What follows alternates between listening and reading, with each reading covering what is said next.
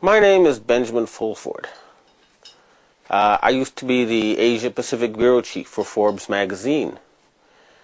Uh, then the Japanese security police informed me about a very nasty secret government that rules much of the West. Once I found out these people existed, I knew they had to be overthrown. Uh, an ancient secret society has offered to help. They have a membership of 6 million, including 1.8 million Asian gangsters. Their other members are highly intelligent individuals located throughout the highest levels of Asian society in Japan, China, Vietnam, and of course in all the Asian communities worldwide. They have united because they were able to show and confirm that SARS was a bioweapon aimed at killing Asians. People do not like being killed. And therefore, a fundamental change has happened in the world, which has still not made it to the surface in the corporate news. But in the intelligence world, people know that things will never be the same again. My involvement with the secret government started this spring when I interviewed former finance minister Heizo Takenaka. Dragon's Den.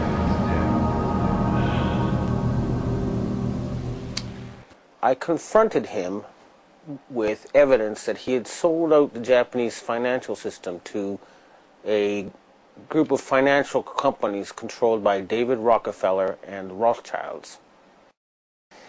The very next day, I got an email from someone who said he was introduced by Mr. Takenaka and he wanted to meet me to meet somebody.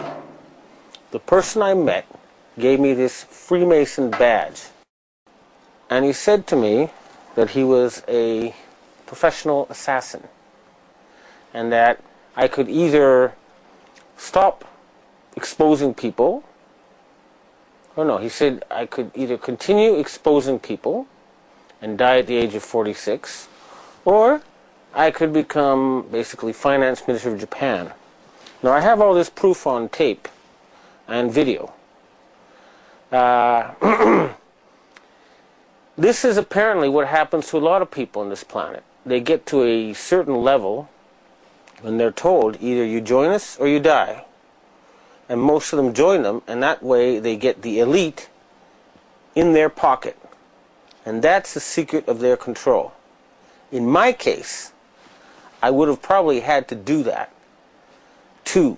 Although, once I realized I had met an honest, genuine, high level Freemason who told me there were 13 levels of Freemason above the 33rd degree, and that these people were God. There was no God, they were God. So I asked them about their plans to kill people, and they said, yes, there are too many people on the planet. We need to get rid of, of several billion. And war doesn't seem to work, so we're going to use disease and starvation. Now, I don't know about you, but I couldn't live with something like that. And my first thought was I'll have to pretend to join them and try to, you know, throw them over from the inside. And I suspect a lot of the people inside those groups have the same feeling. They hate being there, but they're scared. But they'd love it if these guys were overthrown. So you got to remember, not everybody in the secret government is evil. In fact, I'd be willing to bet a majority actually want to do good things for the planet, but they're scared. My very next day after I got this threat and offer of a bribe from the ninja, well, the guy who described himself as a ninja, a Chinese secret society contacted me. It's actually an Asian secret society. It's not Chinese. It it's Japanese, Korean, Vietnamese. It's all of Asia. Uh, and they offered me protection. This is their booklet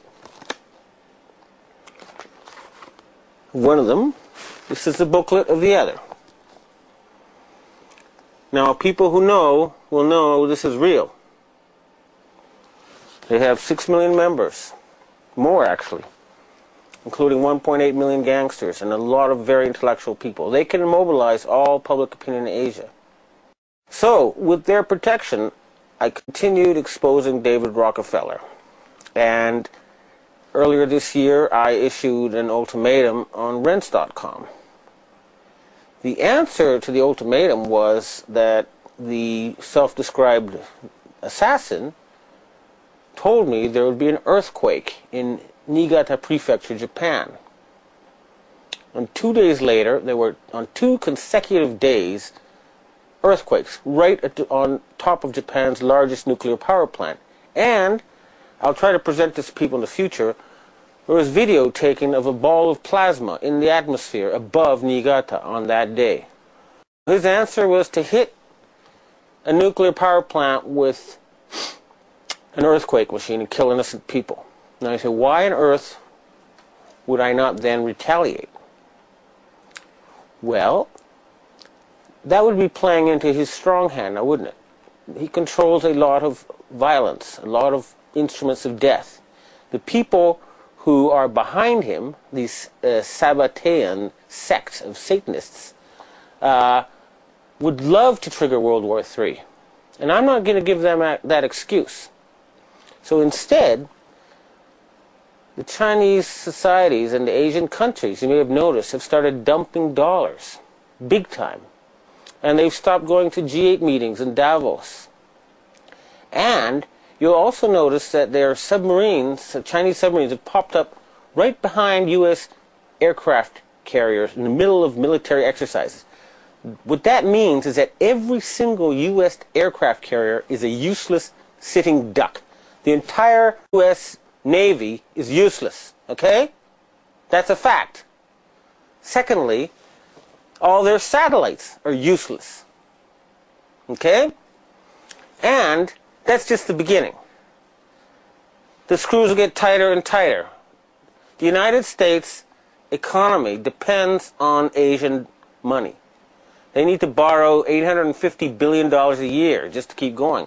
And they're not, the Asians are tired of paying for country that does nothing but attack people and create excuses for war.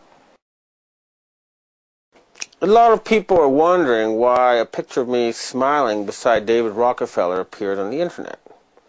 And they're saying, how did I get to meet him?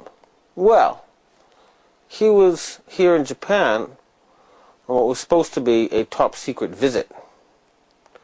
However, if he's in Japan, he's on my turf.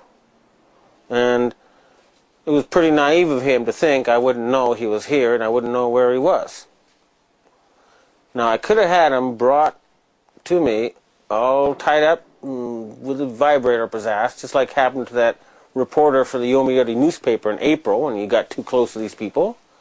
But I don't think torture is a very polite way of talking to people, and nor is it very productive.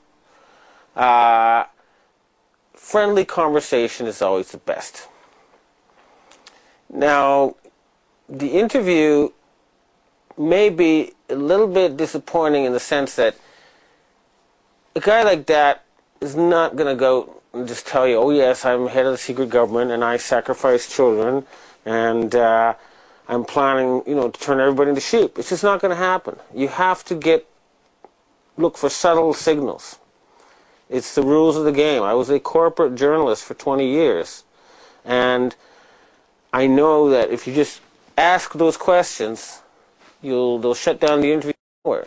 So if I said, "Why did you spread HIV and uh, why did you create SARS?" He would say to his bodyguard, "Get this Fruit Loop out of the room." That's how it works.